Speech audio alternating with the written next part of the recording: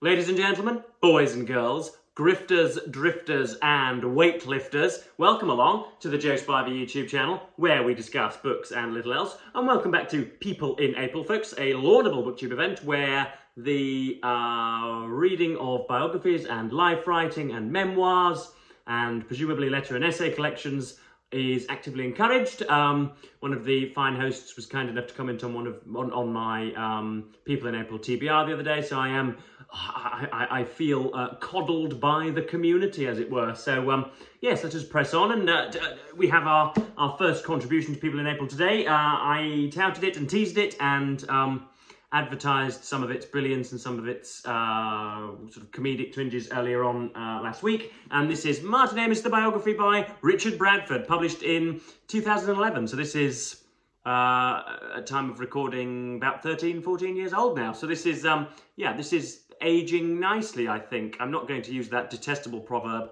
like a fine wine, because if, if, any, if ever you are talking to an individual and they use that simile, um, you should dunk them in the nearest river because that is the most foul cliche possible. And this is a man who despised cliches um, in, a, in an even more visceral way, folks. Um, so Martin Amis, a, um, goodness me, what, what, what might, might we say?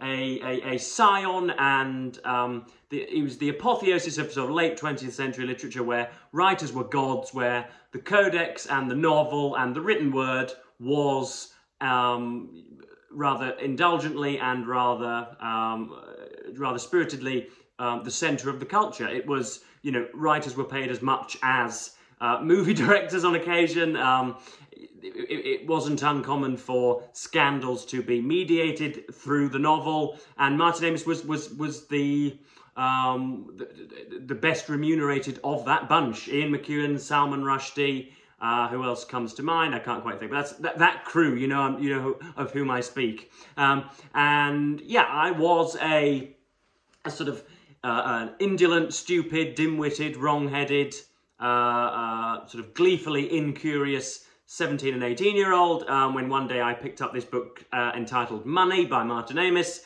and um, transported me to a whole new world, folks. Um, a world which I have since um, renounced, or at least I have um, reneged on some of my uh, uh, uh, on some of my promises to those works. But but nonetheless, he has to be credited with with being one of my um, original Twin Peaks, or at least yeah, somebody who introduced me to the world of uh, mellifluent and um, rewardable and rewarding and enthralling literature. Um, the man himself, as portrayed here by Richard Bradford, again, goodness knows where do we start. He was um, sort of remarkably similar to, to, to Joe Spivey, who picked up money when he was 17 and 18. He was a kind of slovenly, knuckle-dragging uh, idiot who would spend most of his time in the local uh, Greasy Spoons, eating sausages and bacon and playing on the Space Invaders and reading nothing but comics and was with the... Um, the, the assiduity of a pervert was acquainting himself with the uh, rudiments of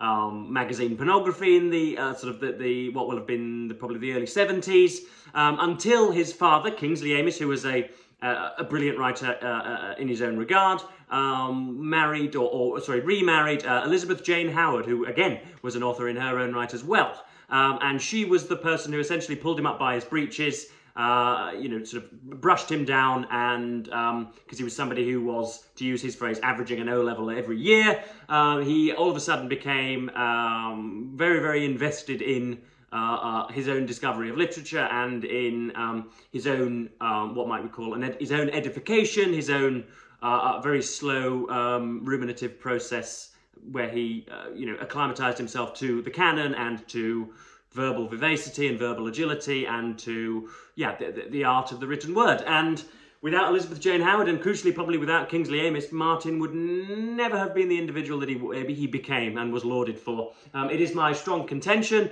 and it is unfortunately not really um, covered in this book, that had Martin not been the uh, uh, uh, son of Kingsley Amis, had he not had a, a sort of uh, pre-brushed path through the maelstrom that is getting one's first uh, work published. Had he not already had um, a, an agent at Cape that would, that would have printed his own shopping list, given that he was the son of a writer, had he not had that, I don't think a syllable of Martin Amis's uh, novels would ever have been published. Um, again, Bradford treads this line. If, if you're coming for the nuances of Martin Amis's life and you and you want the bits and bobs of him, you know, whether he walked his dog before 8 a.m., um, whether he visited toy stores with his sons, um, whether he enjoyed going to New York and his Brooklyn brownstone, whether he liked ice cream, whether he had pesto with his pasta, what um, his taste of sport and music was. You're not really going to get that here. You're going to get a, a forceful and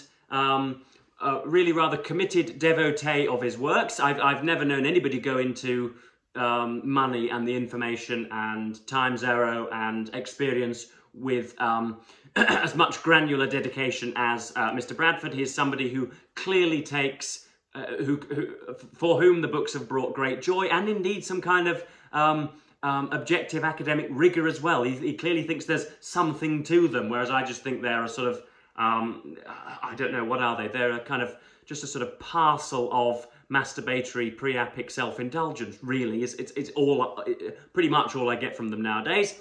Um, but yeah Bradford sort of trots that ground. Um, he trots the ground of um, uh, Amis being uh, a little bit of a, a you know not a womanizer not really a philanderer but somebody um, who appealed to the fairer sex I believe it might be phrased um, he was he was somebody who could go into a room and could um, completely illuminate all of uh, the females with his his charming wit and his again his academic rigor and um, yeah just just some of those kind of extemporaneous quips um, uh, sort of, of uh, because of due to which I am sometimes praised myself. Um, so yeah, I, I, mean Bradford's got some. It's got excellent subject matter here. It, it would be well, almost impossible to write a boring Martin Amis biography, but I've got some sections that I want to, to pick out here.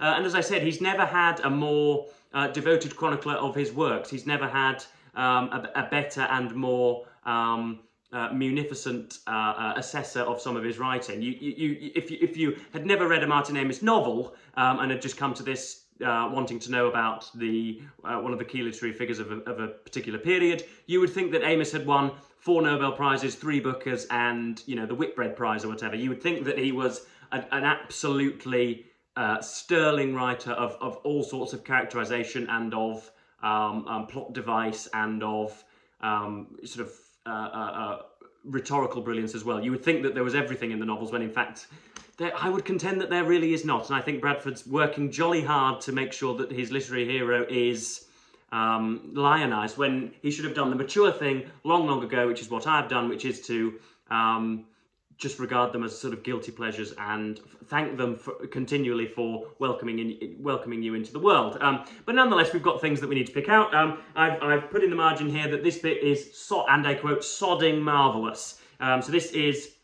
talking about uh, Martin and his brother when um, uh, uh, Kingsley, Kingsley Amis's marriage to uh, Amis's mother, Martin's mother, Hilly, breaks down, and, and um, his stepmother, Elizabeth Jane Howard, who, as I said, is credited with his um, edification, comes into being, and you get that. Apparently, Amis was a, a great, he had a, a, talent for mimicry and was just essentially great company. And um, yeah, Bradford tries to explore that here. So, um, this is talking about no one could blame them, but Kingsley managed to avoid most of their wrath. Uh, both had inherited from their father a talent for mimicry and, uh, and Jane's verbal mannerisms, unself-consciously upper class, along with her postures and head movements, were gradually assimilated and malevolently reproduced, particularly when responding to her complaints about their behaviour and suggestions as to how they might improve themselves.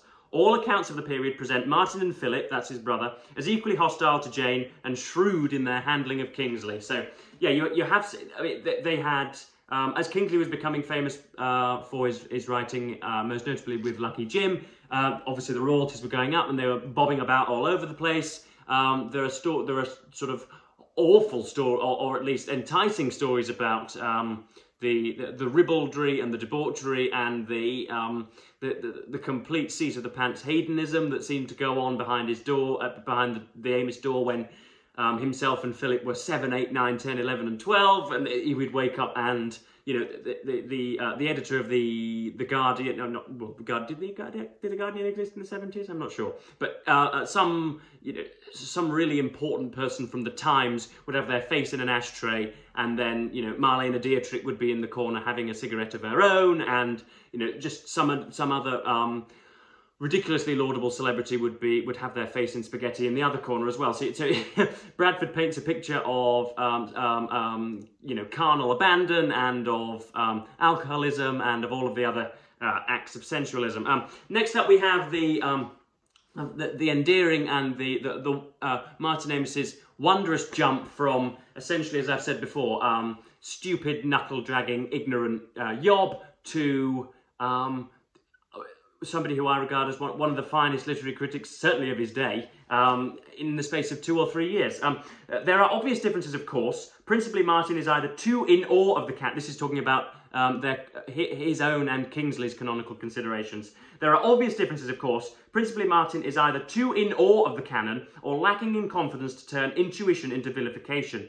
Either way, his inhibitions would soon be dispersed. It is astonishing that within four years of his having first properly encountered literature per se, Martin would be writing pieces for the TLS, the New Statesman, and Observer that caused great trepidation among the most established writers with books out for review. Um, and yeah, you can read some of his earlier pieces. They are um, bratty, they are um, uh, ridiculously, they are effacing, they are um, yeah, obviously critical, but but but they have a, a flair and a verve and an energy of their own. They are self-contained, entertaining works. Um, you don't have to have read the subject matter, you don't have to have read the books. Um, this is another aspect that Bradford doesn't go into, his excellent non-fiction work. He talks bits about the second plane and Terry Eagleton's demonisation of him um, when he was at the University of Manchester.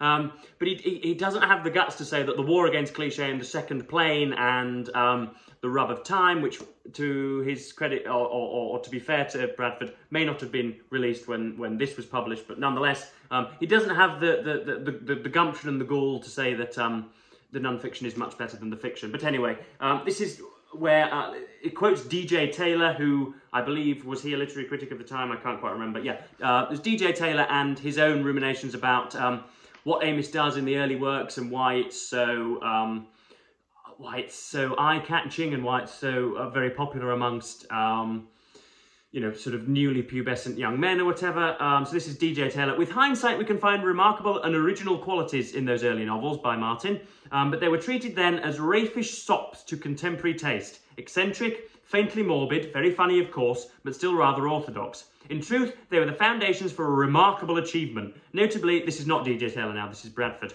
In truth, they were the foundations for a remarkable achievement, Not- notably a previously inconceivable hybrid involving the purest strain of modernism, the kind of writing that revels in its own elegant vividness, and a capacity to reduce the most sombre, mirthless readers to guilty laughter. A capacity to reduce the most sombre, mirthless readers to guilty laughter. And I'm not denying that. You, you yep, the most mirthless readers will be uh, thrown into to, to, to uh, ridiculous laughter by money and by London Fields and by the Rachel papers and by success and by bits of Einstein's monsters and all of that. It's it's it's funny, but Bradford go, makes a leap too far in saying that there is some kind of higher, hidden, um, intuitive, moral purpose behind any of Amis's writings. The fact that he is chin stroking and, and, and looking out upon the metropolis and that, you know, I'm not denying that there are some wonderful cityscapes and there's Dickensian caricature and there are great introductions and there are all sorts of, of gorgeous turns of phrase, but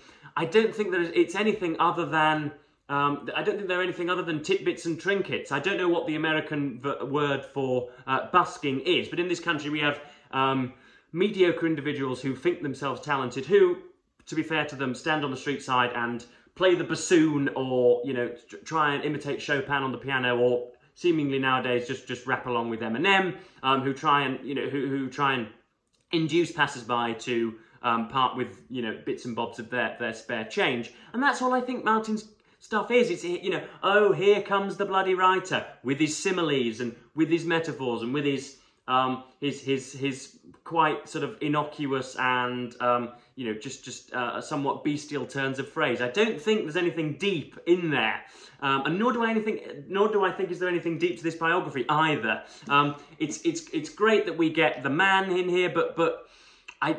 I was looking for a kind of uh, rabble-rousing summation at the end. Um, I was looking for, obviously, he says that he's the writer of his generation and he inspired many. Uh, he has he has um, you know, sort of uh, uh, so much literary progeny after him. So many people have to thank Amis for their um, their own literary precepts or their own preeminence, um, which I would doubt again. But yeah, we, we don't get a, a kind of a, a final paragraph of him. We just get a kind of a, a, sauntering recapitulation of, of, much of the praise that was given out at the time. Um, one of the things that he does mention really nicely is um, Martin went for the jugular of Joseph Stalin, as all uh, public commentators should.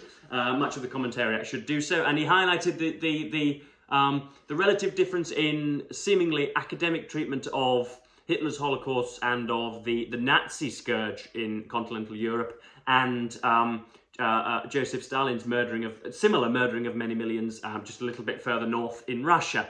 Um, and yeah, point he sort of Amis pincered um, James Fenton and Christopher Hitchens at the time, and of course Hitchens just replied with the most rebarbative smugness possible in that he you know, uh, accused Martin of ignorance or of um, miscomprehension or of um, sort of he he he. Christopher Hitchens was always sort of really, really patronising in, uh, uh, as regards Martin's political comments. Um, but yeah, so here we have uh, uh, uh Bradford very, very perspicaciously and um, very carefully taking apart the difference between Stalinist terror and um, you know, Hitlerian uh, genocide. So we have, um, there was also, contends Martin, a long tradition of intellectual snobbishness, which, without exculpating Stalin, he had clearly presided over a disaster, at least set him apart from the uncouth ideology of Hitler. Marx, drawing upon Kant and a magnificent tradition of philosophic insurrection going back to the Enlightenment, was undeniably a great thinker, while fascism was state-sanctioned mob rule, cultivating the base prejudices of the ill-educated with its programs of racial purity through eugenics. Here, Martin again quotes Solzhenitsyn, who contended that both uh, communism and fascism were forms of ideological enforcement. The former might have appeared more just and righteous than the latter, but neither allowed for dissent. The individual was denied the opportunity to opt out of what others deemed an improvement upon his condition. So this is the uh, Martin's Koba the Dread, which is not something I've read actually. Um, I realised throughout the course of this that I've said in the past that I've read I think every single published word of Amis, but but um, I am I'm at least two or three. I think I'm about three shy actually. But anyway, that um, that matters not. So yes, um, again, he devotes the final sort of chapter to um, essentially obviously Martin was still alive when when when uh, this was written, so so you you can you can um, feel Martin's breath uh, breathing down his neck a little bit, or yeah, you, you can at least tell that that you know he's he's trying to uh, genuflect before his master, and um, there are there are allegations of misquoting and of um, uh, uh, uh sort of quite what might we say. Uh, mischaracterizing some of Amis's uh, life in you know, in bad faith in this. So you can tell that Bradford's um, sort of trying to overcorrect and and is I think uh, just far too kind to some of Amis's writing. And so yeah, this is the final chapter, and he gives us. Um, he's, he's supposed to he, he is supposedly he's quoting London Fields here, um, which involves Keith Talent, who is most notable for his um, proficiency at the dartboard, throwing missiles at a board. Um, and he meets Nicola Six, who is, as per usual, a kind of superficial uh, seductress with high heels and fine hips and a lovely hip to weight ratio and a penchant for lipstick and for um, you know slapping men across the face essentially. So this is um, so yeah, he's talking about how brilliant this is supposed to be, and you'll get bits and bobs of Amis here the um, you know some of the, the, kind of skullduggery and some of the um, some of the humour, but but you won't get the depth that Bradford thinks he's um, evidencing here. So this is from London Six. This is for, this from London Fields. Is Nicola welcoming Keith to her flat for the first time? Come up, she said. As Keith followed her heavily into the apartment, Nicola did something right out of character. She cursed her fate. Then she swiveled and inspected him from arid crown to Cuban heels as he cast his scavenging blue eyes around the room. Keith, stripped of all charisma from pub and street. It wasn't the posture, the scrawniness of the shanks and backside, the unpleasant body scent, he smelled as if he had just eaten a mustard-coated camel, the drunken scoop of his gaze, unappealing though these features certainly were. Just that Nicola saw at once, with uh, a shock, I knew it all along, she said to herself, that the capacity for love was extinct in him. It was never there. Keith wouldn't kill for love. He wouldn't cross the road, he wouldn't swerve the car for love. Nicola raised her eyes to heaven at the thought of what this would involve it, her insexually. And in earnest truth, she had always felt that, that love in some form would be present at her death. The very best first, third person narratives are those who keep us guessing about their partialities and affiliation, make us wonder who in the novel we know best, whether this impression is false, and most of all, make us question about, uh, make us ask questions about why we are being made to jump through such hoops. This short passage is a superb example of third-person double bluffing. The mood seems droll, almost satirical, but this is a reflection of Nicola's state of mind or a protective film, but perhaps lent, uh, perhaps lent to the narrator by Young to smother something much darker and potentially macabre at the heart of the book. And unfortunately, I've never, I, I, I mean, I, I, think most of the time I was just in complete amazement by Amis in my early days that somebody could write such, um, such flagrant humour and such, uh, yeah, such alarmic comedic verse. But um, I've, I've never since got anything from, from the works, unfortunately. But yes, that's, uh, that's, that's a very long video on, uh, yeah, Richard Bradford's biography of Martin Amis. And next up, folks, for people in April, we have another tome, another toe crusher. We have, uh, like the Roman, The Life of Enoch Powell by Simon Heffer, which I'll be getting into from today indeed. So yes, um, I hope I haven't mumbled too not too much. I hope I haven't been I hope I haven't been too inchoate. Um, I struggle to organise my thoughts on this because um, it's just a pyrotechnical display with Martin Amis. There is so much that I could lecture you guys on, but I shall not. Um, so yes, I'm pretty much going to wrap this video up here, and um, thank you ever so much for watching BookTube, and say goodbye.